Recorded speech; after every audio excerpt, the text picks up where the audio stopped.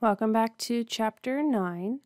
In this example, we're going to make sure that we're really thinking about the idea of perpendicular distances, and we're going to be applying the same exact uh, problem solving process to a new situation.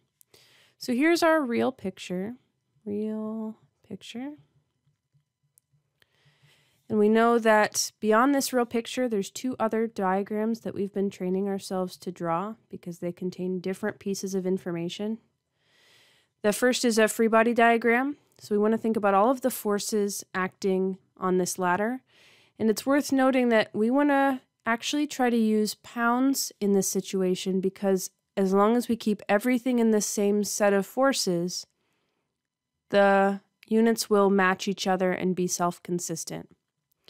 So we have a person who is standing on a ladder, and each of those things, person and ladder, has a different weight. So FG of the ladder is 10 pounds. 10 pounds. And FG of the person is 160 pounds.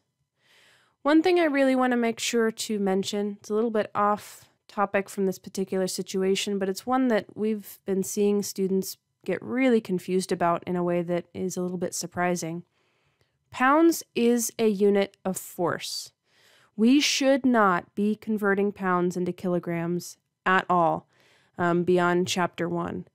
Pounds is a unit of force, and so we have a conversion between pounds and our other unit of force. One pound is equal to 4.45 newtons.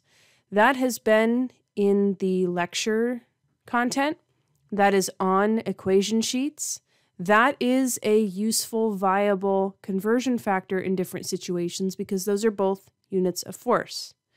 The problem with converting pounds to kilograms is pounds as a unit of force and kilograms as a unit of mass.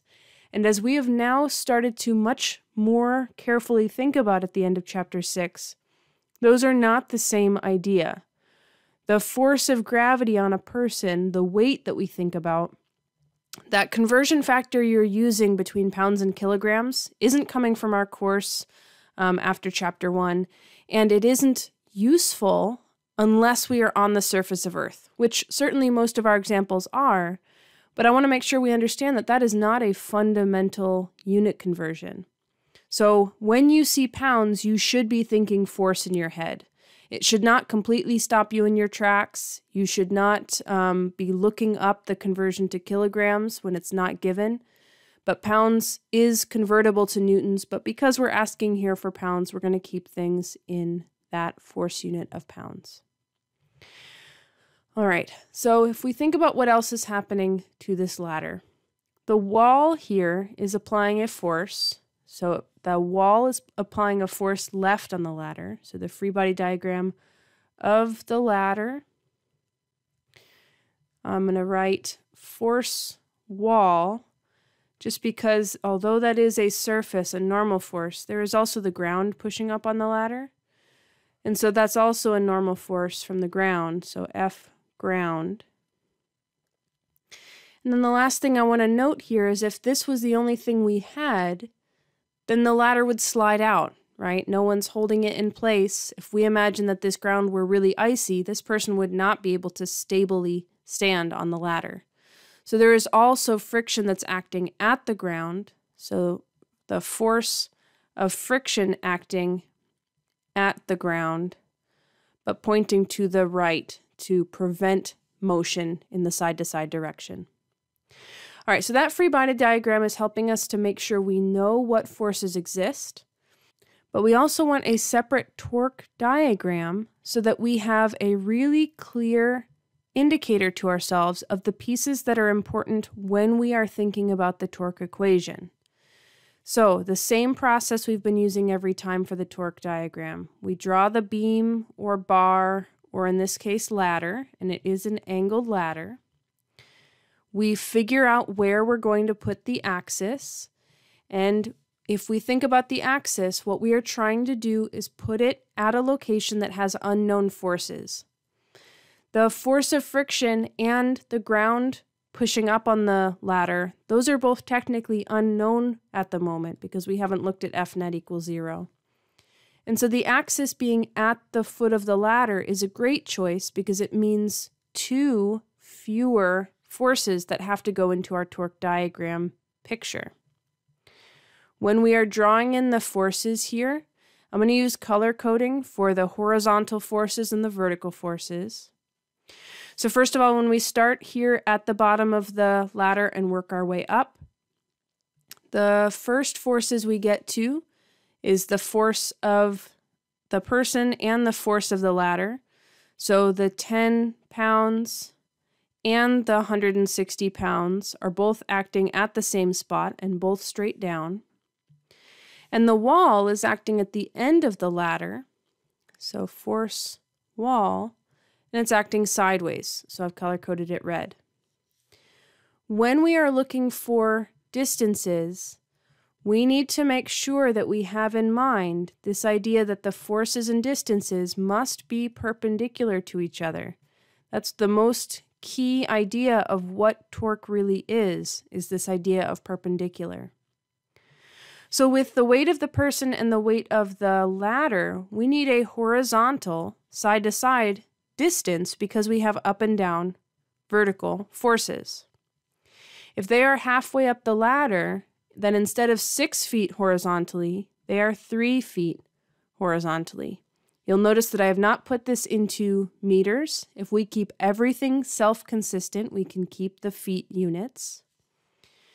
And for the, the ladder hitting the wall, the force of the wall is a side to side force, and so we are looking for an up and down vertical distance. We have that vertical distance that from the foot of the ladder to the top of the ladder, up and down, is eight feet. So when we are thinking about this idea of perpendicular, that's really what we mean is that if we have a horizontal force, we need a vertical distance. If we have a vertical force, we need a horizontal distance. And if something is angle, angled, like the previous problem with the angled rope, we need to break that into components and use the appropriate one. The last step of our um, torque diagram process is the directions, clockwise and counterclockwise. So if the wall were suddenly disappeared, then the ladder would fall, and it would fall by rotating, and it would rotate in a clockwise direction. So both of those forces that are acting there are both in the clockwise direction. If suddenly gravity wasn't there, but the wall was still pushing, if this was the only force acting, it would rotate the ladder in a counterclockwise direction.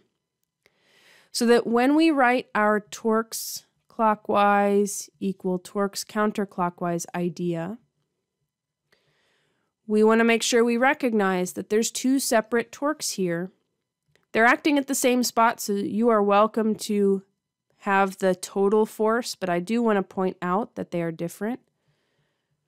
So 10 pounds acting 3 feet perpendicularly, and 160 pounds acting 3 feet perpendicularly. And then for the right side, we have the unknown wall force acting 8 feet perpendicularly from the axis. So on the left here, we have 30 foot pounds, so foot dash pounds. The reason they changed direction is because foot pounds is actually a unit that is used here in the US. It's our imperial unit for torque. So 30 foot pounds from the ladder torque and 480 foot pounds from the person on that ladder.